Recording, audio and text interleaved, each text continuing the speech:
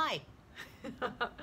so the new site is launched, and I was looking at all our topics, and the most trafficked topic is how to orgasm. I mean, that's why you're at Betty Dodson's site. Women want to learn how to orgasm, and we have it. All the tech technical stuff is there. First time orgasm, Betty's rock and roll orgasm technique, awakening the clitoris, a woman's erection needs 20 to 30 minutes of adequate clitoral stimulation. All those articles are there for you. And it will go blow by blow, and what you're going to see is the same themes mm-hmm. lubrication, clitoral stimulation with vaginal penetration. Now I'm getting uh, quite a few about it hurts. I know, and then working your PC muscle, getting comfortable with penetration.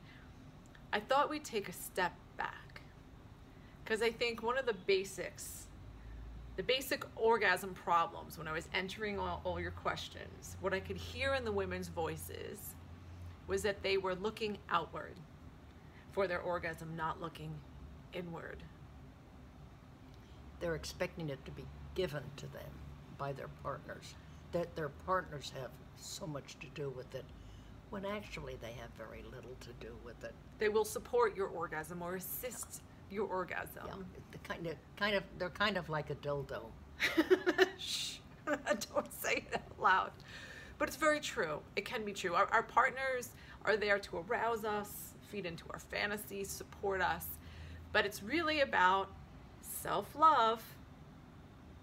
And that's been your mantra forever for your whole career and i think that's why sex for one and liberating masturbation resonate with so many people because i think if you're looking outward it's never going to happen. You're going to feel broken. You're never going to be beautiful enough. You're never going to have the right outfit. Well and then your your partner's never going to be good, good looking enough. no. a big enough penis or... and if you find them then they're going to leave. They're going to have good finger control you know be able to do this just right and then something will happen relationships see, end. it's impossible but you always say the relationship you have with yourself mm-hmm. Mm-hmm. is the longest one. Well, it starts first and it ends the last. Uh, uh-huh. Right now, I don't have a partner, except I have myself and my fantasies. my fantasies.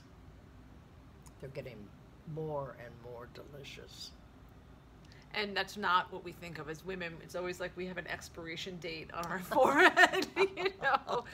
But the fundamentals of orgasm is self-love. Yeah.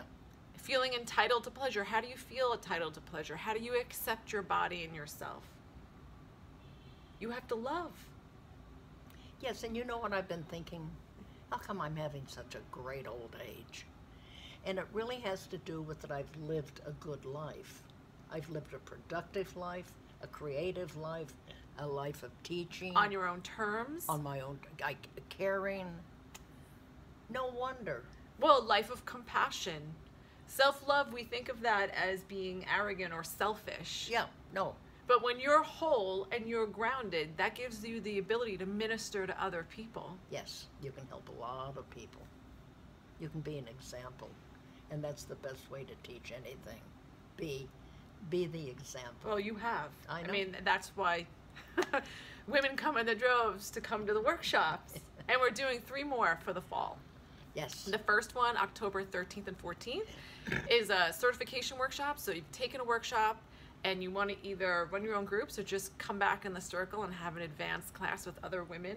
They're at the same level. That's for you. And then we have November 10th and 11th and December 8th and 9th. So email us. We'd love to have you. Yes, yes, come join us. It's Share some of our self love. it's so much fun. it really it is. I love the workshops. I look forward to them. Me too. And the women that we're going to meet. And everyone can have an orgasm. Yes. Every woman can orgasm. Yes. Yes. Yes, and your cat too.